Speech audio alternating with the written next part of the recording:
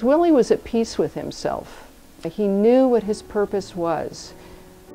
Will, purpose, power, knowledge, wisdom, understanding. And many of us already know what Willie would want us to do, to carry on in any small way, any part of what he cared about, whether it's working with youth or finding a way to be kind to other people in your daily lives. He would tell me he didn't want to achieve anything fantastic for himself if everybody else couldn't be a part of it. There are so many young people here at the gym telling me stories about Willie, and I'm seeing what it's done for them. Everybody who misses Willie has been so great about supporting each other. And it's a very healing thing to be at Willie's gym and being around these young people. Uh, it makes me feel good. The Austin Foundation create access and opportunity for youth and families who otherwise may not be able to afford health and wellness, a way to be able to come in and be, experience fitness, the components of fitness, through exercises and nutritional classes that's going to make them a better person, a better citizen, a healthier citizen, that's going to cause them or support them in helping someone else. What it was a giving, he was such a giving person. All he did was give to each and everybody.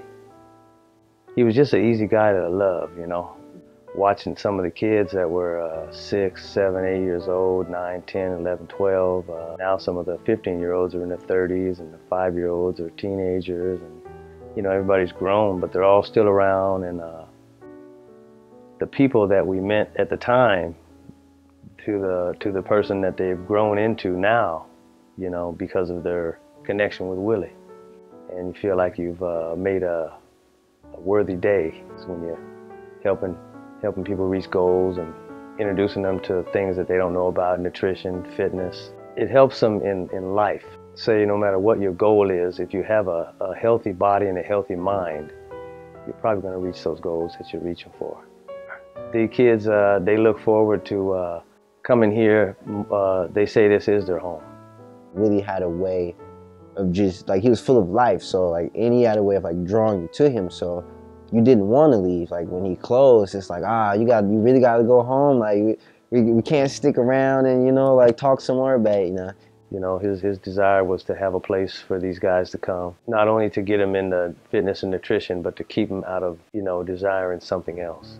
Yeah, you want to keep this going. This is uh, uh, it's, it's Will's dream. It's his, it's his, it's his whole, it was his whole uh, uh, existence. We must have the youth to take part in advocating to take part in promoting health, to take part as equal partners sitting at the table to be able to combat uh, these risks that we're facing.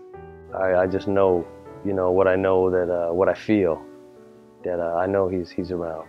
I met Willie Austin when I was 14 years old, so my eighth grade going to ninth grade summer. He just, he just showed me how to live a different way, and like he just taught me to be, well, the way that I put it is a human being. He realized how important it was of touching other people. And he wanted to make sure everybody that was around him felt that and did it in their own life. He got cared. He didn't just like lift, like he was like on you, like come on, you got it, you got it, come on, like and every time you get done, he was telling you how good you looked. He was telling you it was easy for you, you know, even though you're sweating, telling him it was hard. Like he, he would build your confidence slowly, even if you didn't have the courage to build it yourself and step outside of your box. He had a way of doing it. And even though it, it took something this tragic to happen, I believe that now his name is going to be bigger than it ever was because he has a legacy that he left behind. We're looking at how could we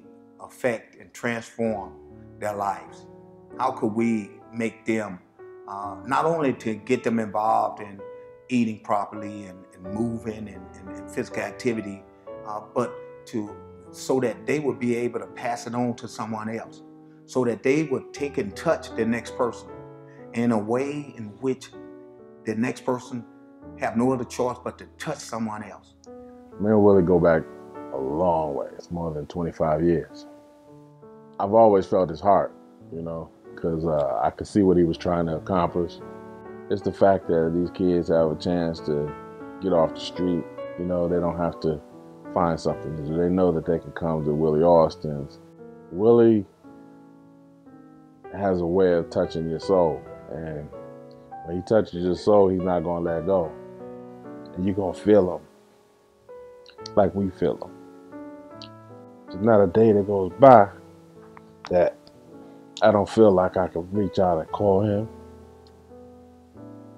And that's why I'm here every day. Because I feel like he's here. He's his presence is here.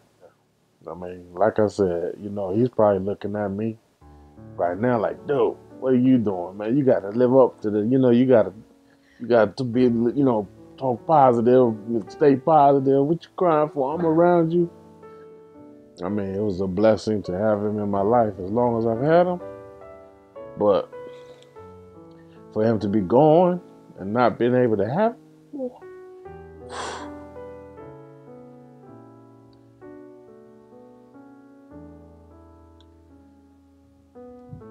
hard. I got plenty more for you, Willie. I do.